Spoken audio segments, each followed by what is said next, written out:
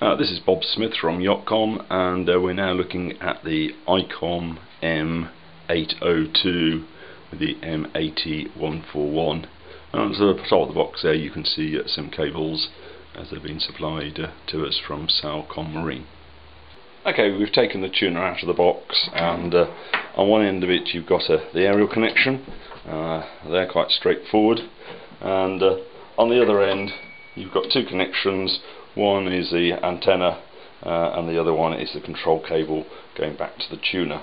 And it's quite a sturdy, well-made, waterproof box uh, from Icom.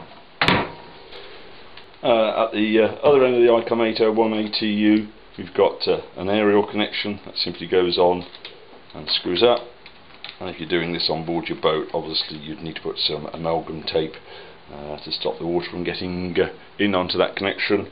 And uh, I've already connected the ground. Uh, do make sure the ground wire is also connected. Uh, this is a 4 core screen cable. Uh, and those two connections are simply snap together like that.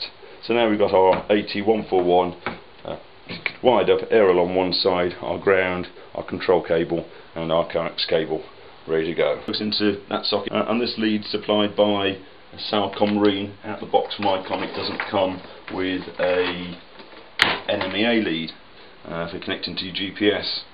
Uh, the socket here is uh, going to the control head, so this goes round to the control head. It doesn't matter which way round this one goes. Uh, one plugs in there, the other one plugs there. Uh, connecting a Pactor modem to this radio, so the uh, remote socket plugs into that socket there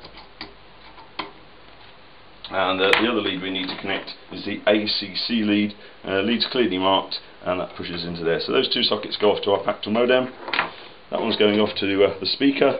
This one's going off to the control head. And this is the uh, NMEA GPS uh, input. And that's how easy it is to wire up an ICOM M802